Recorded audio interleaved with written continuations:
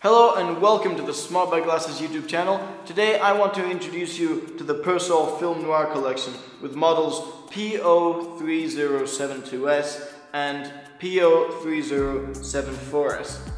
Now, the ones I'm wearing are for men and these ones are unisex. The film noir edition from Persol represents the intriguing atmosphere of the 1950s in a contemporary collection with appeal of film noir. The characters from the genre come back to life in two styles, gangster and detective, which give a modern retake of their look, all featuring the new Phoenix arrow on the hinges of the frame.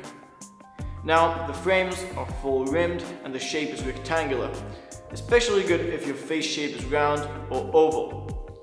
The Frames are made in acetate and the color is black, but you can also get them in other colors available on our website.